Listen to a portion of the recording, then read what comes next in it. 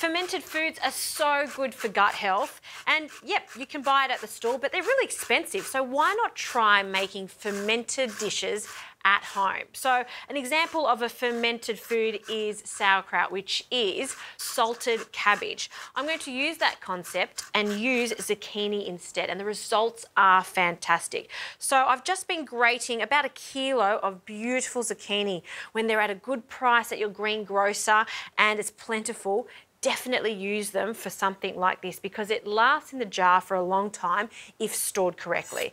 So into a bowl we'll pop our grated zucchini. Okay, and I've just grated that on a coarse grater. And to one kilo of grated zucchini, I'm going to add two tablespoons of salt.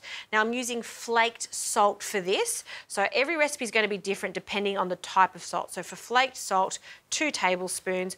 I don't want it to be too salty, but I also need the salt to react with the zucchini for it to ferment. So this is where you get your hands in here and give it a really good mix just like this, squeezing it, but we're not squeezing it so much that we're pureeing it. We just want to extract as much water as possible out of this zucchini. So it won't happen instantly, but you can almost see now, see that? See there's liquid coming out of that? That's what we're after. And ideally, you want to leave this for one hour. So we'll just pop that into a corner, let it rest, and in one hour we'll come back.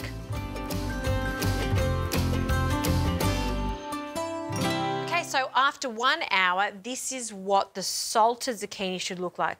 Look how much liquid has been extracted from the zucchini just by adding that salt and bruising it slightly. So now we need to pack it into a jar. So I'm using about a one litre jar. I've sterilised it and that means that we've washed it really well and then dried it in an oven at a low temperature. You really want to sterilise this because if it's not clean and sterilised, it won't last long. So it's all about having this for a long shelf life. Before we start packing in the zucchini, I want to add one flavour to it. And you can add any flavour to this you like. You could add some bay leaves, you could add some thyme. It's totally up to you. I'm just adding some freshly crushed and toasted coriander seeds. So we'll sprinkle that in. And it's just a gesture of it because it is all about that gorgeous zucchini. So we'll use a spoon to start adding this. And I'm also adding that liquid too because it does preserve it. So into the jar and we want to make it really compact. So as compact as you possibly can. I'm just using a pestle from a mortar and pestle and we're just going to press that down so it's compact and then I'm going to add some more. And this is just an example by using zucchini. You can use this theory on any type of vegetable.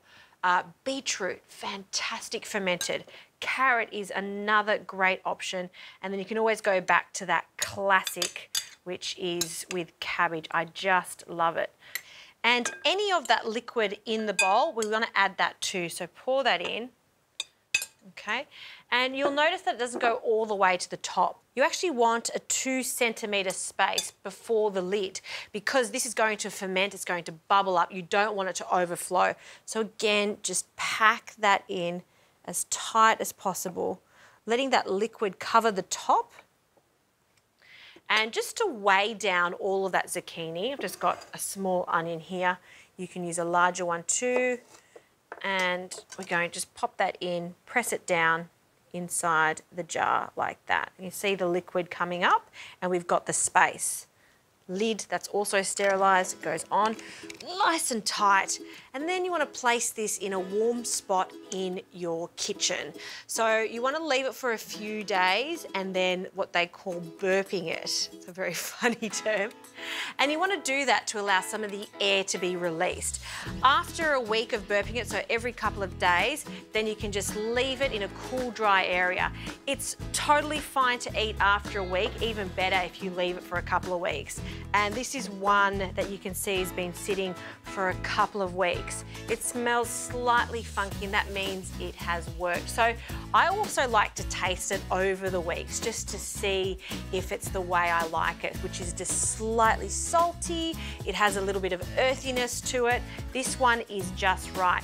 And you can serve it in some quiches. It's a fantastic base for some vegetable slices in a salad or the way I'm gonna serve it, which is with some halloumi. I'm going through halloumi craze. I love halloumi so much.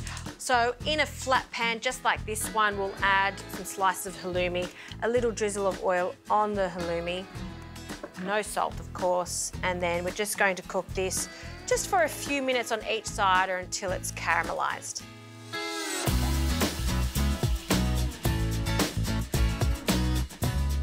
All right, halloumi's looking good, so we'll place it onto a plate. Just pile them next to each other, side by side. As we know, halloumi is one of those things you don't wait. As soon as it gets on the plate, get that fermented zucchini on top, and then we'll sprinkle that over the top. And I'm gonna garnish this with a sprig of mint. All right, let's have a taste of this combo. Mm. They go so well together. You've got that salty halloumi cheese that we all love so much. And then you've got this funky, almost zesty, zingy, fermented zucchini. I love this combination and I think you will too.